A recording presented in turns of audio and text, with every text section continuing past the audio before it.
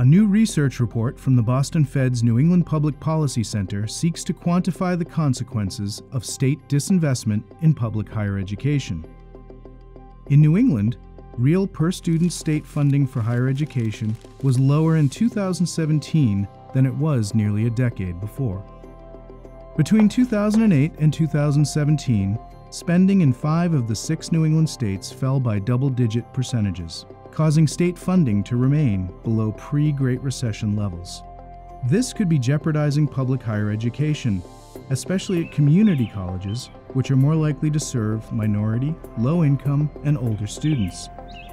For each dollar that's cut from state funding, the report estimates how much tuition and fees rise, spending on instruction and research drops, and the number of degrees awarded falls. Read the full report at bostonfed.org.